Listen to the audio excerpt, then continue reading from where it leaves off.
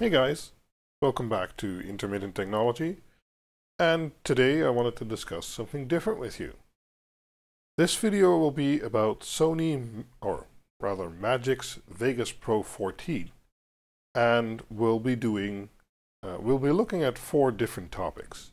The first is, uh, don't worry, I'll put this there in post. so the first is my old i7 4770K versus my new Ryzen system and see how that influences rendering time. And then we'll take a look at uh, build 201, which I've been using for the longest time, versus a new build which recently was released, build 252, and see if there's maybe any differences between those. In the second part of the video, we'll be taking a look at the best codec to use for exporting and most often I find people using the MainConcept uh, export method. But in my testing and in my experience, uh, using the Sony XAVC S Long codec, it's a mouthful, actually yields better results, renders faster, and gives you a higher quality file. So we'll take a look at that. And we'll also be tackling the topic of CPU versus GPU rendering. So most uh, Premiere Pro users use GPU rendering, but Sony's method of doing things is a bit different. You can enable some forms of GPU accelerations. There's actually multiple spots you can use it in Sony or Magix Vegas Pro. Still haven't gotten used to that. Um, but enabling those at different points does different things. And that is also the reason why if you look at certain videos on the internet, some people will tell you GPU rendering doesn't make a difference, while others will show you GPU, GPU rendering makes a big difference. So I'll be discussing that in part two. So let's, uh, let's move on the slide. So first we have the Intel 4770K versus the Ryzen 1700X. And the reason why this is important or interesting is the 4770K is a recent Intel CPU. It's a bit older, but uh, IPC hasn't changed that much since the Haswell CPUs. But the Ryzen chip is an 8-core with 16 threads CPU. So that would mean if IPC would be the same and the clock speed would be the same, you would have double the performance. But can Sony Vegas Pro use that performance? That's of course the big question. So uh, I did these tests using build 201 because I didn't have any other build available at the time. So let's see how that did. And people who watched my Ryzen videos, I'll have a card up here with my Ryzen stock memory and overclock video and benchmarks. They'll already have seen this slide, but let's take a look. Okay, so here are the results. I'll be looking at the screen because I have to, you know, see the results myself. So using, let's start with without a GPU, we see that the stock 4770K take uh, does one hour to render this scene. And I'm using my Road to Ryzen case and cooler video. You can look it up on my channel. So you can see what effects are in there, etc. Uh, so overclocking the 4770K to 4.5 gigahertz shaves off about 10 minutes of render time. So that's worth it.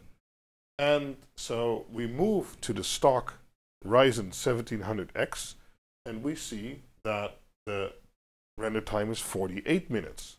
That's a big improvement from the one hour. If we then overclock only the memory to 2933, it becomes 46 minutes. And if we then overclock the CPU to 4 gigahertz and the memory to 2933 megahertz, we see render time becoming 42 minutes.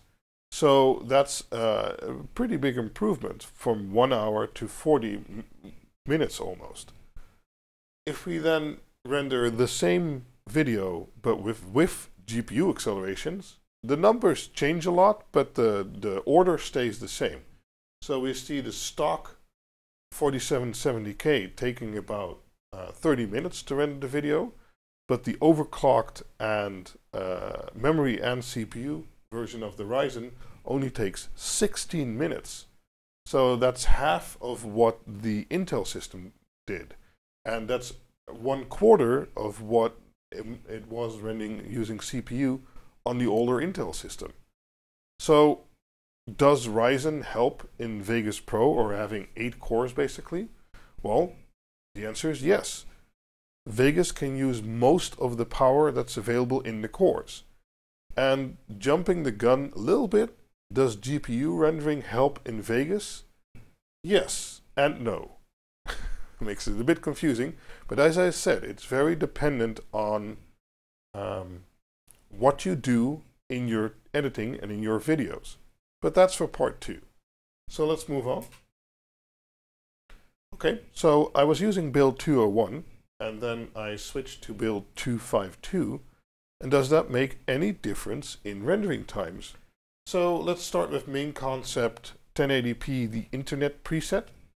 And we see that in, on build 2 or 1 using GPU acceleration in both Vegas and in the rendering preset, it basically just crashed. I gave it two times, it crashed two times, it failed.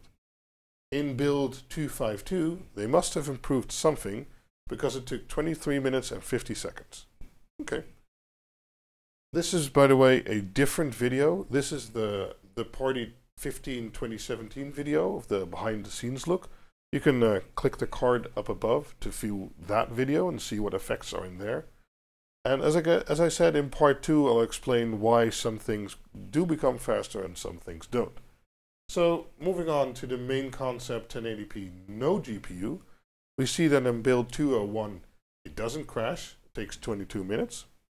And in build 252 it actually becomes a little bit faster, but I think that's in the margin of errors.